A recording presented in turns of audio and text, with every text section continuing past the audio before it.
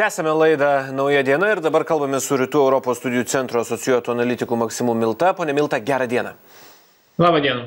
Pradėkime nuo Romano Pratasevičiaus. Jūsų akimis ir jūsų vertinimu, kas su juo yra ir bus daroma. Panašu, kad Romano atžvilgiu yra taikomas ne vien psichologinis arba koks kitas smurtas, bet abejonės, ar Romanas šiuo metu nesusiduria su kankinimais, turi rimtą pagrindą. Galime pasižiūrėti į tą vaizdo įrašą, kurį paplatino Baltarusijos propaganda ir net matosi iš to paveikslo iš tikrųjų kad e, buvo bandoma kažkaip tais makiažo pagrindu kažkaip tais užslėpti sužalojimo būtent vietas e, romano veide matosi kad jo nosis matyt lūžo matosi kad yra problemų su dantim ir panašiai. Žodžiu ir apskritai kalbėjimo maniera intonacija tie kas ar pažįsta romaną arba bent jau anksčiau susidurdavo su jo na bent jau su juo viešoje erdvėje žino kad jis nekalba taip nu ir dar tas cigarečių pakelis žodžiu yra aibė tokių detalių smulkių detalių kurios tiktais parodo kad e, šitas vaizdo įrašas jo turinys yra padarytas prievartos sąlygomis. Ir panašu kad romano atžvilgiu yra taip pat ir naudojama ir būtent sofijos padėtimi jo gyvenimo draugė europos humanitarinio universiteto studentė nes panašu kad ji yra taip pat jam galimai yra grasinama tuo kad su sofija gali būti visokeriopai susidorota reikia priminti kad tai yra laikoma akrestino izoliatoriuje liūdnai išgarsėjusioje vietoje kur žmonės taip pat masiškai buvo kankinami rugpjūtį rugsėjį o pats romanas yra laikomas kitame minsko centre esančiam izoliatoriuje Koks dabar yra tų kankinimų, tų įkalinimų tikslas? Kokie yra galimi artimiausi Baltarusijos žingsniai plaukiantys iš to? Na viena vertus tikslas yra labai paprastas surinkti visą kaltinamąją medžiagą kad jos pagrindu galima būtų surengti dar vieną parodomąjį teismą. Tiesa vėlgi atkreipkime dėmesį pirmiausia į tai kad romano romanas yra jaunas žmogus nepaisant savo jauno amžiaus jis sugebėjo pelnyti pripažinimo būtent kaip žurnalistas kaip tinklaraštininkas. Būtent e, dėl šito savo darbo jis buvo priverstas pasitraukti iš baltarusijos dar du tūkstančiai devynioliktaisiais metais. Tai iš tikrųjų tų straipsnių pagal kuriuos romanas bus kaltinamas yra dabar kaltinamas net jo pilno sąrašo mes dabar neturime juo ir nedisponuojame. Bet panašu kad romano pirmiausia bus inkriminuojama veika esą su riaušių organizavimu baltarusijoj klausimas lieka ar jis bus kaltinamas terorizmu ar ne ir tokiu atveju jam gali grėsti mirties bausmė. Ir panašu kad tuo pagrindu lukašenka pirmiausia propagandos kanalais bandys rodyti visą vakarų sąmokslą prieš lukašenką ir tokiu būdu dar labiau skatinti represijas prieš bet ką kas išdrįsta pasisakyti prieš režimą tame tarpe ir prieš sulaikytus žurnalistus E, žmogaus teisų gynėjus ir e, pačius įvairiausius Baltarusijos visuomenės atstovus. Ir jų tokių bent jau politinių kalinių yra daugiau negu 420 šią akimirką. Toji operacija, kurios metu buvo sulaikytas Ramanas, visiškai turbūt reikėtų sakyti beprecedentė ir tiksliau turbūt ne operacija, o paprasčiausias lėktuvo užgrobimas. Kodėl būtent Ramano asmenybės atžvilgių buvo įgyvendinta tokia procedūra? Sunku kalbėti, kodėl būtent romano atžvilgiu. Aš manyčiau, kad buvo pasinaudota galimybė. Buvo pamatyta, kad yra galimybių langas. Nežinau, kodėl šitą galimybę, šitas scenarius nebuvo išpildytas, sakykime, savaitę prieš skridusios Svetlanos Cechanauskojos atžvilgiu. Irgi galima kelti įvairiausias versijas, bet panašu, kad buvo pamatyta, kad yra tokia galimybė. Ir tiesa, juk būtent tas priverstinis lėktuvo būtent užgriu, reiškia, pri, pri, būdas priversti lėktuvą nusileisti Minske yra tai, kas iš esmės soliguoja su prieš metus paskelbta informacija apie tai, kad taip vadinamųjų Wagner samdinių atžvilgių turėjo nutikti panašiai specoperacija, bet Ukrainos oro erdvėje taigi panašu kad šitas planas šitas toks kūrybinis planas tam tikra prasme baltarusijos saugumiečių galvose egzistavo ir jie žiūrėjo kieno atžvilgiu galima būtų jį pritaikyti. Ir todėl buvo pasinaudota šita galimybe.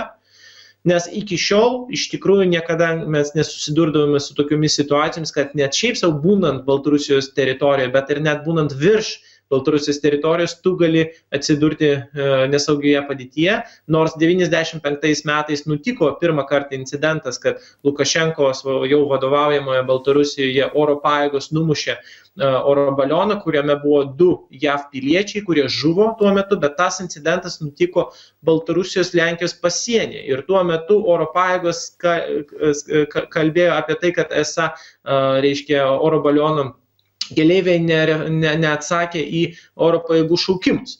Ir tas incidentas vyko būtent pasienį. Šį čia mes kalbam apie iš esmės virš Baltarusijos, na visos teritorijos incidentą ir natūralu, kad tai yra iki šiol nematytas įžulumas ir grėsmingas elgesys visam regionui.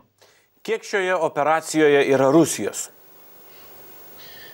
Tai yra labai geras klausimas. Šiandien kaip tik e, buvo paskelbta e, Belenkat e, atstovų nuomonė, kad nebūtinai Baltarusijos saugumiečiai dalyvauja šitoje operacijoje. Belenkat be jokios abejonės yra iš tikrųjų labai gerą reputaciją, rimtą, ryškę reputaciją turintis tyriamosios žurnalistikos portalas kita vertus mes suprantame kad visgi nepaisant e, lukašenkos įžūlumo ir nesiskaitymo su jokiomis e, tarptautinės teisės ar moralės normomis visgi jo disponuojamos galimybės yra ganėtinai ribotos klausimas ar baltarusijos saugumiečiai galėjo išpildyti šitą operaciją savarankiškai lieka atviru.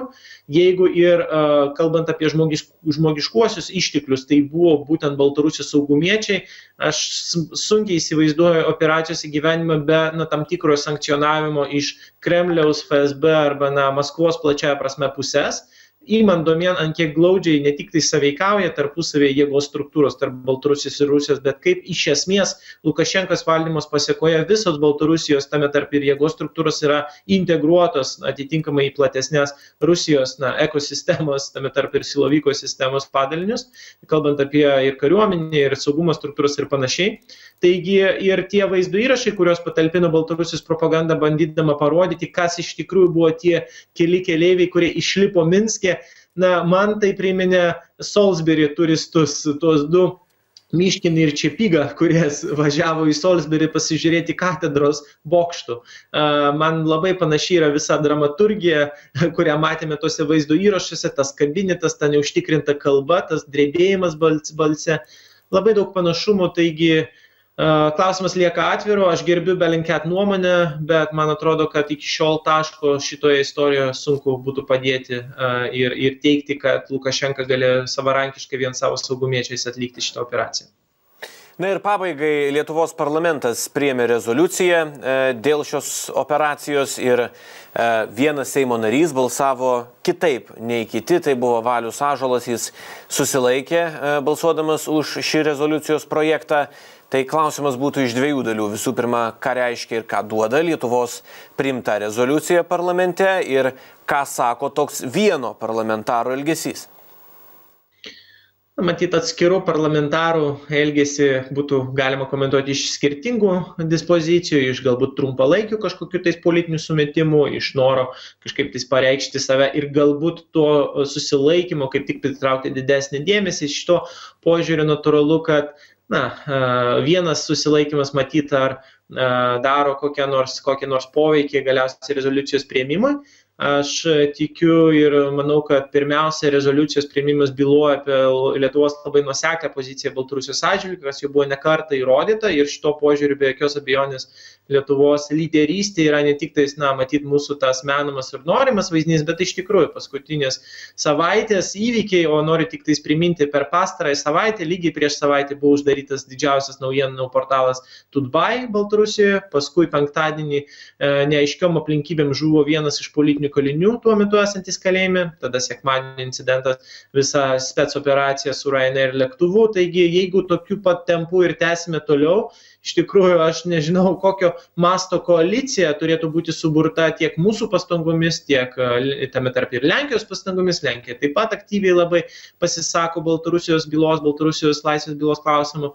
Taigi, bet panašu, kad e, tas tempas, įvykių tempas Baltarusijoje labai sparčiai greitėja ir tiesa šiandieną yra suplanuotas taip pat ir Lukašenkos pasisakymas visais, taip sakant, aktualiais gyvenimo klausimais, kaip tai, kad tai buvo pristatyta uh, jos spaudos tarnybos ir pasakyti, kad visi taškai taškai virš i bus pastatytos, taigi sužiūrėsime, kokią naują versiją pateiks Lukašenka ir kas grės toliau. Galbūt Baltarusija iš vis bus uždaryta ir ta vidinė šalies okupacija, kaip vadina ją patys Baltarusiai, bus dar stipresnė ir smarkesnė ir tada ieško, teks mums ieškoti kelių, kaip naujomis sąlygomis padėti Baltarusijos pilietiniai visuomeniai. Kągi, ačiū labai už pokalbį. Laida Nauja diena šiandien jau baigiam ir pasimatysime jau rytoj 13 val. Likite įsijungę Lietuvos ryto televiziją.